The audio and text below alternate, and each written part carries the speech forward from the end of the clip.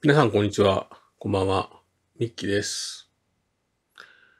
うちのね、近所にスーパーで万代ってとこあるんですけど、そこでね、プレステ5をね、200円でゲットしました。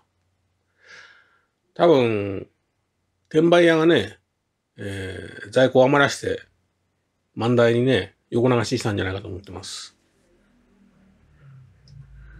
このね、あの、公式ロゴを見た瞬間ね、興奮しました。しかも200円ですよ。で、これってあれじゃないですかね。あのー公式ドライブがついてないんで、えっ、と、デジタルエディションだと思うんですけどね。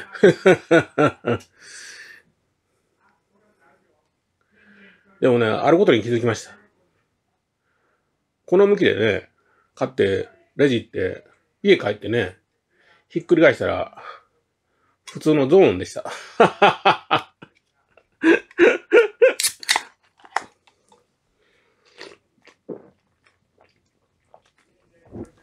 味も一緒です。なんかあれですね。D ゲイルさんのあの、サムネで釣られた気分ですね。すいません。それは、あの、この動画を見てる人の気分になってね、申し訳ないです。ではでは、ありがとうございました。